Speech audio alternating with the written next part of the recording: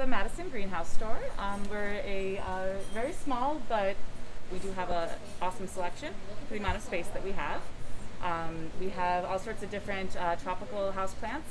Uh, we also seasonally sell vegetables and flowers.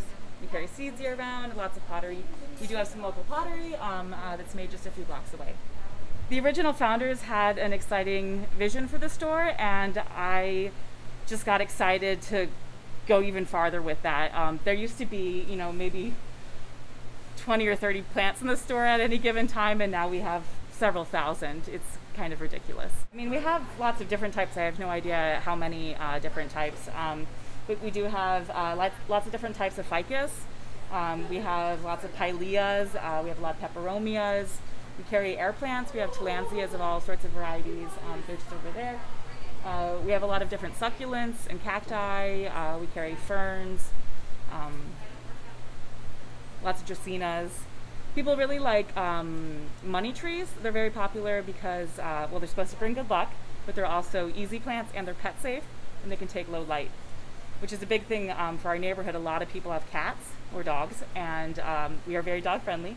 Uh, um, so it's good to have a lot of plants that are pet safe. Um, that is one thing that I always enjoy doing is making sure somebody who has a pet, we can find them a good option for their lighting scenario and their care wants, you know, whether they want to fuss over the plant or not. Um, but then also make sure it's not going to be something toxic to their pets.